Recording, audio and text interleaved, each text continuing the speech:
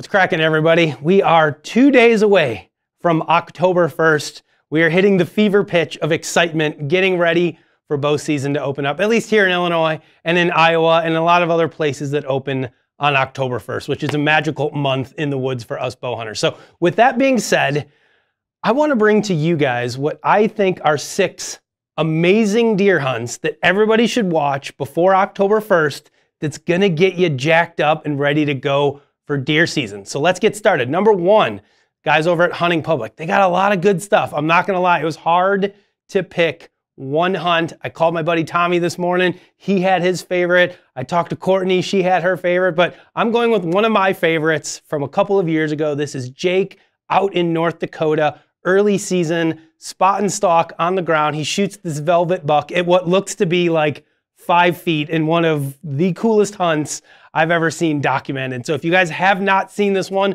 make sure you check it out. It's an early season North Dakota hunt from the hunting public. Number two is gonna be Whitetail Edge, Ben Rising. This is a guy that's been around for a long time. I remember watching him on the Drury DVDs many, many years ago. If you guys haven't checked out his series, Whitetail Edge, make sure you check it out. Last year, Ben had possibly one of the greatest stretches of deer hunting that any hunter has ever had. He killed four mature bucks, a couple of them giants over the course of like two weeks. It was absolutely incredible. The last deer that he killed was a buck that had been nicknamed Scissors by the landowner, um, who invited Ben to come out onto his property. He'd never been there before in his life. He spent three or four days on this property, moving around, scouting, hanging stands.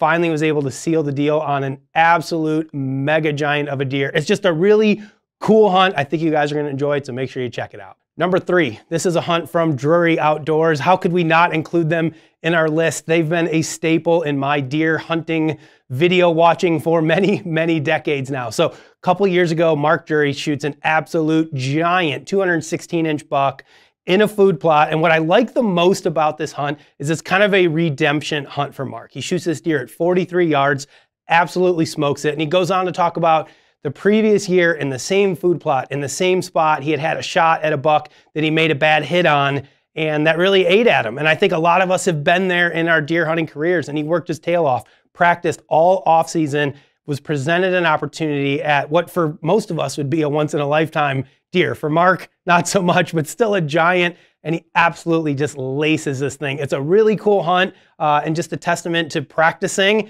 and getting back up on that horse and, and getting the job done. So make sure you guys check that one out as well. Number four is gonna be Chris B in Kansas on public land. If you guys haven't seen this hunt, this is like what everybody that travels out of state and hunts public land hopes is gonna happen to them. He walks onto a piece of property for the first time in his life and has an absolute magnum deer come in and he smokes the thing. I mean, I don't know. This is just one of those like dream hunts. And I think it's really cool to see Chris and the popularity that's been building around his brand, around his channel the last couple years. He's doing an awesome job.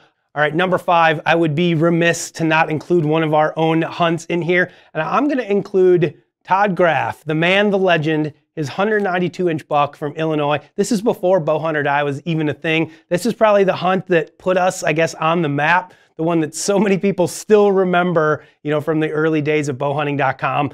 You know, it was local here in the suburbs. This was a deer, and I remember that night because I actually dropped Todd off to get into his spot where he was hunting that night because he didn't have anywhere to park on that side of the farm. He didn't want to just park on the side of the road where everybody could see his truck. So I'll never forget him being like, dude, I need you to drop me off over here. I got a specific wind. I know this buck is in here. I'm going to go in there and kill him. And that's exactly what he did. So this is one of my all time favorite hunts from Todd or really anybody on our team. It always gets me jacked up for season, probably because I got to be a, at least a small part of it. But I think you guys, if you haven't already seen it, should definitely watch it. It's an awesome hunt.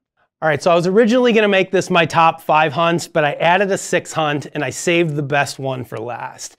This is a hunt that if you guys have not seen this, and you may have seen a part of it, right? There's been a, a clip of this floating around the internet for years now. This is Todd Pringnitz with White Knuckle Productions and the White Knuckle Web Show shooting a deer that he called Walter Payton. And his reaction when he recovers this deer is absolutely legendary. It's, it's something that will probably never be replicated again. Uh, and it's something that many of us only wish we had the emotions and was willing to actually show them on camera the way that Todd was. You know, unfortunately, he passed away a few years ago. Um, Got to tell you, every year during hunting season, I miss that dude. I miss calling him, texting with him. I miss his energy and his enthusiasm. Uh, but this was, in my opinion, uh, Todd's finest hunt. And if, if this doesn't get you jacked up for the impending deer season, nothing will. So I hope you guys enjoyed these six hunts. Make sure you go check them out. We're gonna leave links to every one of these hunts in the description of this video.